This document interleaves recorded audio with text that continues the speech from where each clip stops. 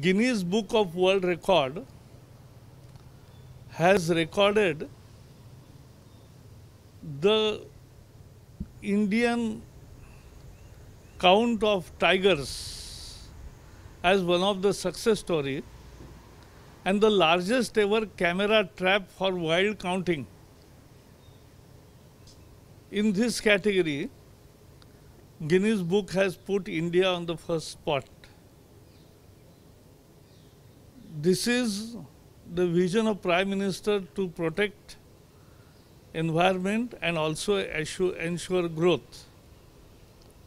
And in that sustainable management theory, our tiger population is nearly 70% of the world's tiger population. And we have laid the largest camera traps. No country has done so much exhaustive survey and counting and camera traps used for this purpose. And that camera trap number has been put in the Guinness Book of World Record.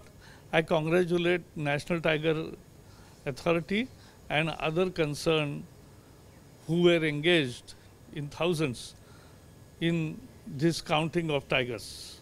The said time we could complete the target four years before the target.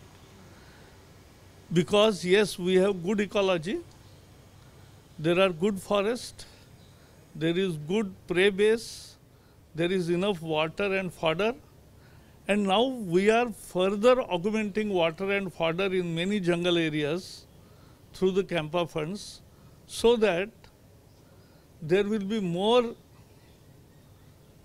animal and wild animal base and they will remain in jungles, they will not venture out. And that is what we are entering into. It's the next stage of development of forest.